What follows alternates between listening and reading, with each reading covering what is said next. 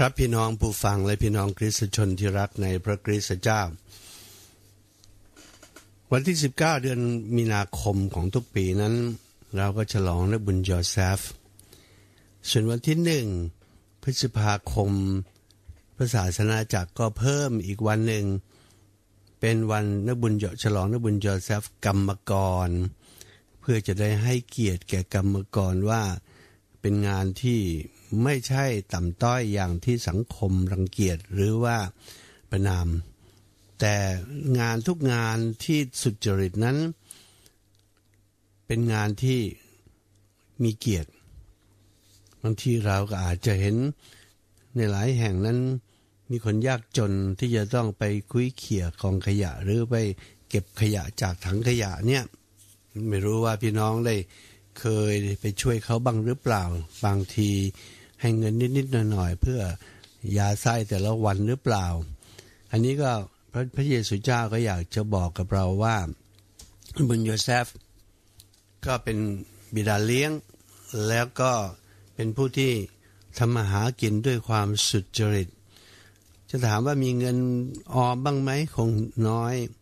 หาเช้ากินค่ำใช่ไหมใช่ แล้วรู้สึกเสียใจไหมที่ไม่มีเงินถังไม่เสียใจ เลี้ยงแม่พระและและพระเยซูเจ้าด้วยความสุจริต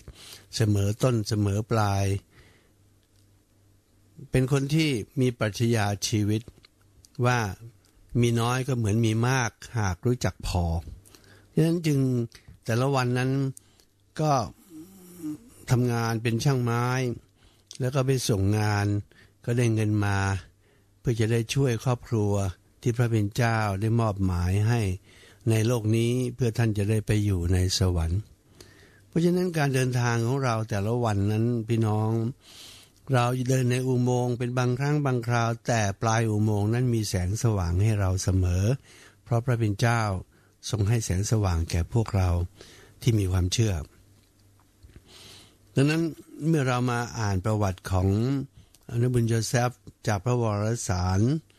เราก็จะเห็นว่าเป็นผู้ที่มีความนอบน้อมเชื่อฟังพระเป็นเจ้าสามครั้งสามคราที่เทวดาต้องมาหาท่าน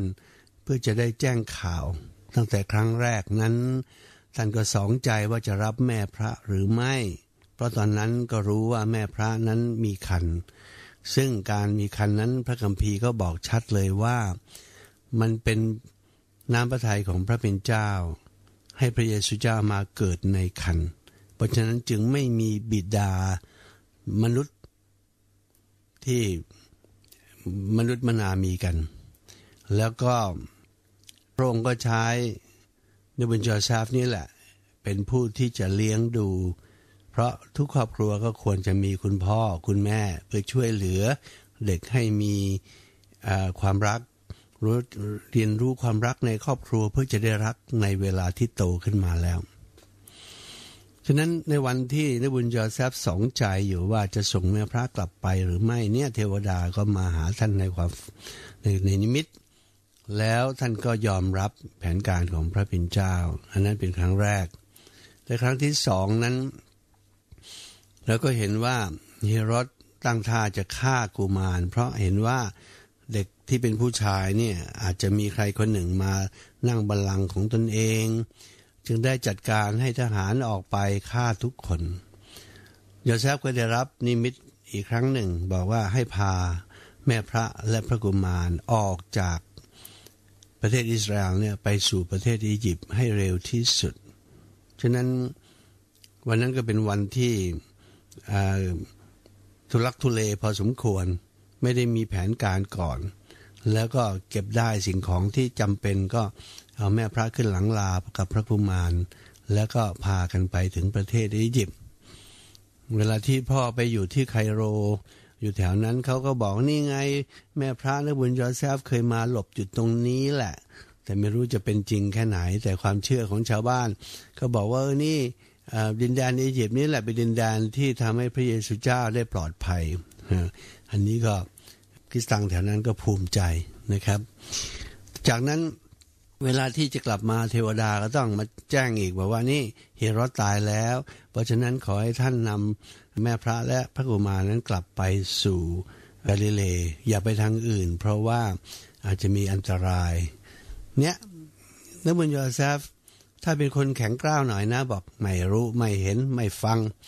ป่านนี้เราคงไม่ได้ฉลองนบุญโยเซฟแน่ๆแต่ท่านเป็นคนที่ น่ารัก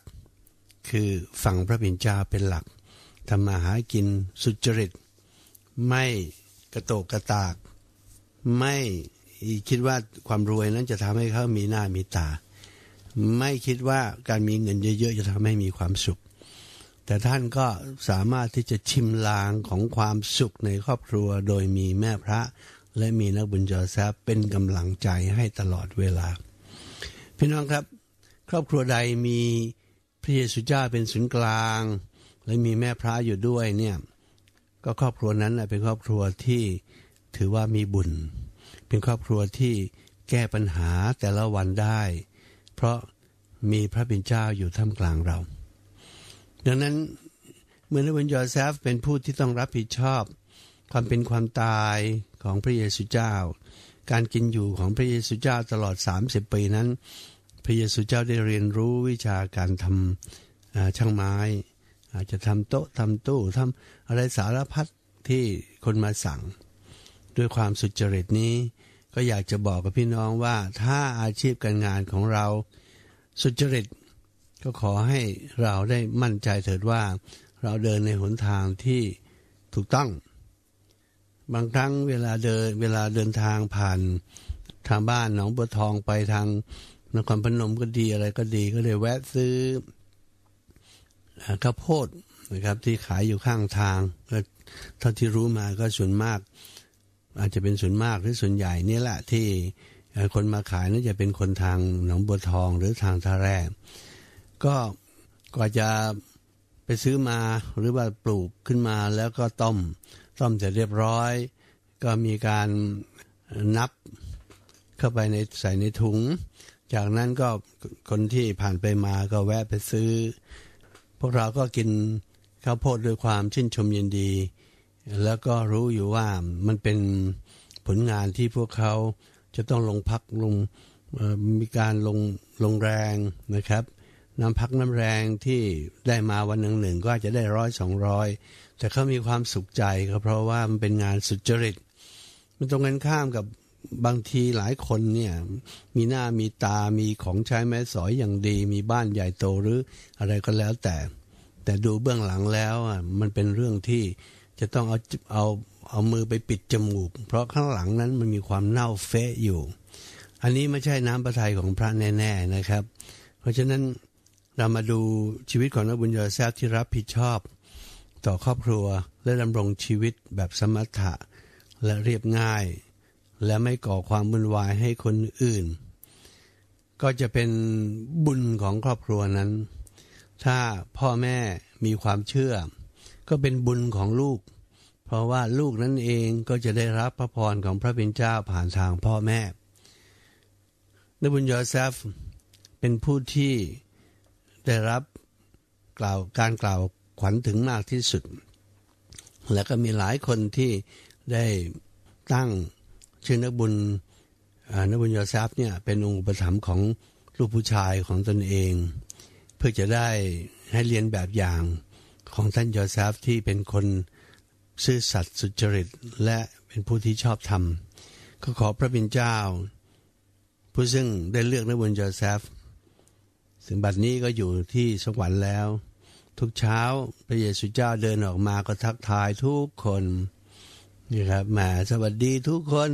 มาถึงนักบุญยอแซพระเยซูเจ้าจะบอก อีโพสบายดีอยู่บ่ก็จะทำให้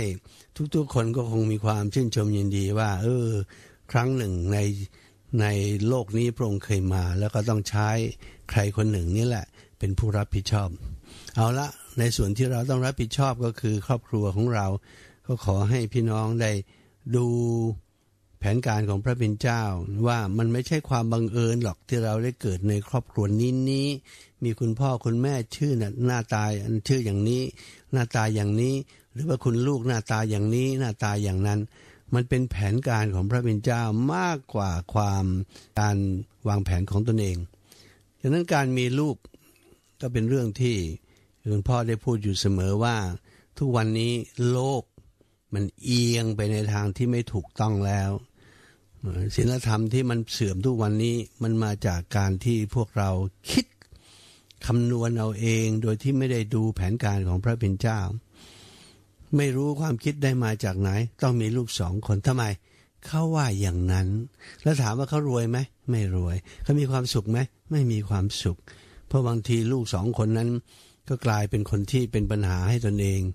ซึ่งไม่เหมือนกับแต่ก่อนที่บอกว่า เออ แล้วแต่พระจะจัดเราก็บอกเออ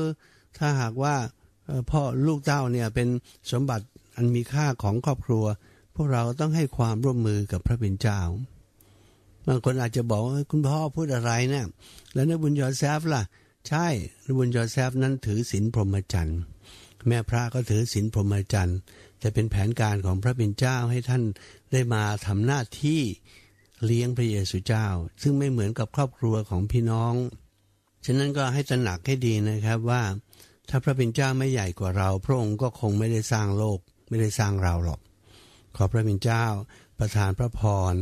ให้แก่พี่น้องอาศัยคำเสนอวิงวอนของนบุญจอแซฟและนบุญจอแซฟช่วยวิงวอนเทินสวัสดีครับ